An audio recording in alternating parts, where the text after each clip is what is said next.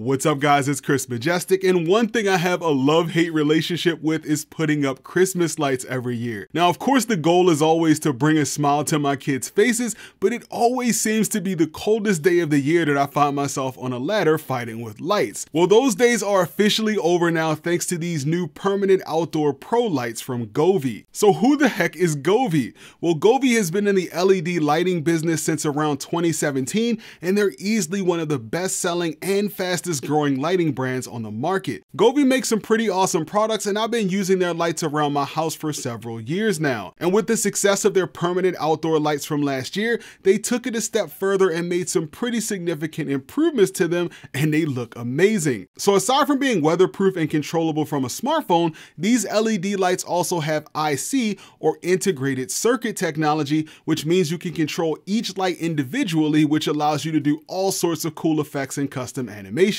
And with them being marketed as permanent outdoor lights, they come with an IP67 waterproof rating, so they're built to withstand the harshness of being installed outside all year round, and they offer a good amount of customization and installation features that make them stand out from the competition. Now I actually have a few lights here with me today. I have the 100 foot permanent outdoor lights, which is last year's version, and I have both the 100 foot and the brand new 200 foot version of the permanent outdoor lights Pro, which was just recently released. Now, Govee was nice enough to sponsor today's video and send out the 100 foot outdoor pro kit and the 100 foot regular outdoor kit, but I actually ended up purchasing the 200 foot kit when I saw it pop up on Amazon last week since it has a key piece of hardware included with it that I'll talk about in a second. So in the 200 foot permanent outdoor pro box, you get some documentation, Matter installation guide since the pro kit supports Matter, and a quick start guide. And you get several LED bundles that come in sets of 10, and each set has a waterproof connector for you to add as many strips as you need. You also get a ton of accessories including a bunch of extra splicing connections, installation clips with screws, a bunch of extra outdoor rated double-sided tape, extension cables for you to jump from one section of your house to another, a 36 volt power supply and control box, and since this is the 200 foot kit, you get something called an LED driver module. This module allows you to install more than 150 feet of lights. So you just install this module in line after your fifth light segment, and then you can install the rest of the segments up to 200 feet. Okay, so before I get into the installation, I want to briefly go over the differences between the new Pro Kit and the previous model, since it could be a bit confusing if you don't know what you're looking at. The older model is known as the Permanent Outdoor Lights,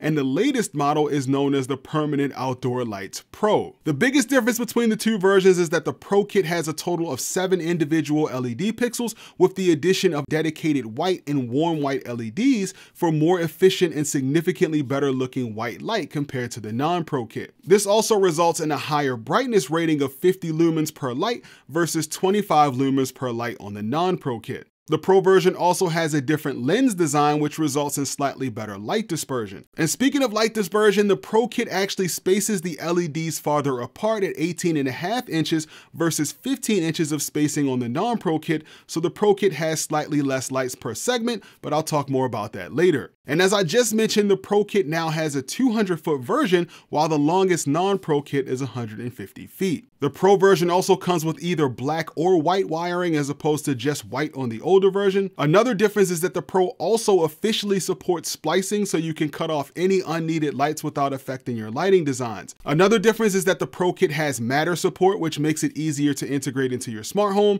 And the last difference is cost, as the Pro Kit retails for around 100 bucks more than the non-Pro Pro Kit, but Govee does run deals all the time, so make sure you check the links in the video description as I'll make sure I throw the best deal in there. Alright, so enough about specs, let's get into the installation. Well, even though I had planned on installing these lights myself, I quickly realized that the soffits of my house were up way too high for me to reach with any ladder I own, and it was way beyond my comfort zone when it comes to height. So the night after I got the lights in the mail, I was browsing Facebook and stumbled across a post from G&S Electrical Services with a picture of Govee Permanent Outdoor Lights saying to contact them today to have your lights installed. G&S came out two days later and happily installed the lights for me. And not only were these guys genuinely awesome people, but they added a new outlet in my garage for the lighting controllers.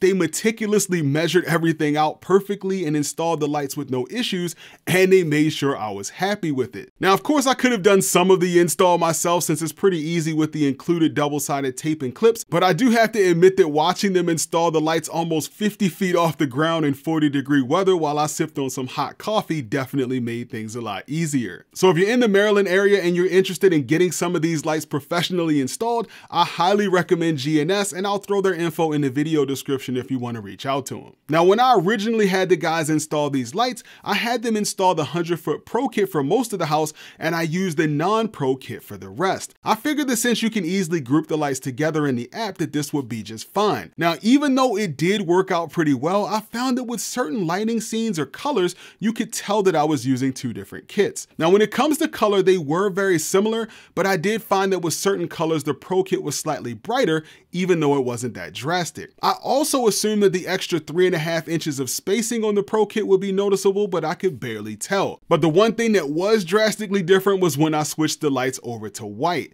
This is definitely where the Pro kit shines considering it has those dedicated white channels. I also noticed that when I tried to run certain lighting scenes with the lights grouped together that there was a difference in latency between the different models, which was a little bit distracting. So this is what prompted me to go out and buy the 200 foot kit. And since I had the other Pro kit left over, I figured it would be cool to add the rest of the lights to my garage doors since there might be times where I want to easily turn those lights off or control them separately from the rest of the house. Now, one thing I do want to mention about installation is that it's recommended that with either of these kits that you install them around two to three inches away from the wall, which will produce an angled glow of light from each LED module. This means that it's best to install the lights on a soffit under your roof line. Now, if you don't have an overhang, it doesn't mean that you can't install them. It just means that they may not look their best. So for example, I didn't originally plan to install any lights over my porch since there's no overhang there, but I thought it would look weird with nothing there, so I had the installers do their best to install the lights there anyways. Now, even though it doesn't look as good as all the rest of the lights, it still does look pretty good even with them being so close to the wall. Alright, so what all can you do with these lights? Well, the possibilities are endless with these things considering you can control each individual pixel. And the star of the show here is definitely the Govee app. Not only is the app really intuitive, but you can really get into the weeds when it comes to customization. And the first thing I did was create a light group with both of my Pro lights. This allows me to control both of them simultaneously and easily run lighting effects on both kits at the same time. And as you can see, the controls are easy to understand and really intuitive. If you just want something simple and you're not into the whole DIY thing, they even have an AI lighting effects mode where you can just tell the lighting bot what kind of lighting theme you want and it'll create it for you. It has a music mode which can use the built-in microphone inside of the controller or you can use the mic on your phone to make your lights react to some music.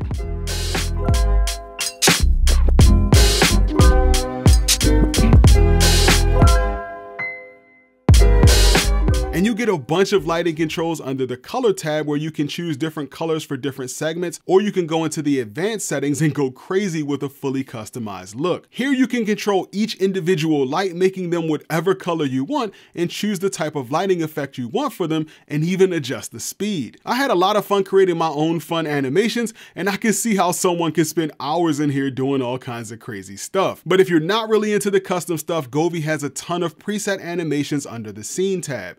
You can do rainbow animations, fire, moonlight, Christmas time, Halloween, and all sorts of cool animations. And if you thought the color section wasn't enough customization for you, then you can go over to the DIY tab and really go crazy. I didn't spend a whole lot of time here, but I did make a pretty cool blue animation that looks pretty awesome. And if you're looking for even more, you can head over to the Explore tab and try out some custom animations from other users where you can see a preview of the video and try it out for yourself. And when it comes to smart home connectivity, you have quite a few options. You can add your lights to the Amazon Assistant, the Google Assistant, you can control them directly using Govee's API with the LAN control option, or you can use a distributed gateway which allows the Govee app to run built-in automations with your devices without the need of a smart hub. And as I mentioned earlier, the Pro Kit now has support for Matter, which makes it even easier to integrate the lights into any Matter compatible smart home. Now I personally use the Home Assistant smart home platform and I chose the LAN control option to control the lights from Home Assistant using Govee's API, which works great. So after messing around with these lights for a couple of days, I found myself going down the rabbit hole that is Govee's outdoor lighting, and I stumbled across the Govee curtain lights at my local Best Buy. If you've never seen curtain lights, they're almost like an LED screen that you can use to show cool animations. And what's really nice is that it was super easy to install and integrate with the other Govee lights. So I jumped on a ladder and had the curtain lights installed and up and running in about 15 minutes, and they complemented the permanent outdoor lights perfectly. And what's really cool is that you can use Govee's Dream View, which links all of your Govee products together to show pre-made scenes with cool colors and themes. I gotta admit, this has me wanting to add even more lights like the Govee floodlights to the mix for an even more over-the-top look. So when it comes to Govee permanent outdoor lights, I gotta say I'm definitely a fan. They look great, they're easy to use, they're highly customizable, and they're easy to install as long as you can reach your roof. And if you're looking to buy any of the items I mentioned in this video, be sure to use the links in the video description as I'll be posting links to the best deals on these lights. But that's gonna pretty much do it for this video, guys. Hopefully you found it helpful.